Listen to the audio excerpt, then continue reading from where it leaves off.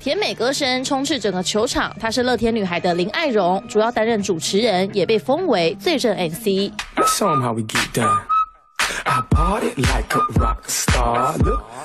平时也拍不少酷手抖音，秀丽短发、招牌的阳光笑容，让她吸了不少粉。林爱荣二零一六年加入蓝明 Girls，两年后离开，二零二零年再回归加入乐天女孩当 MC。结果情人节这天，父亲遇到横祸，让她急着发文求救。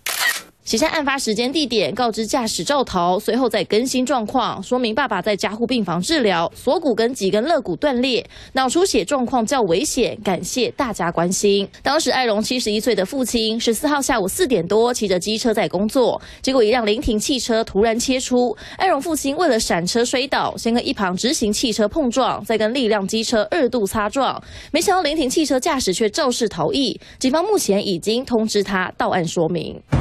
我出来的时候，看他就躺在那个地方，他有警察来啊。由于案发现场监视器拍不到，让拉拉队女神急着协寻经过的行车记录器画面，发文也迅速被网友转发，有不少人留言集气，希望艾荣父亲平安，车祸也能还原过程，厘清沼泽。真是王雄嘉和台北曾报道。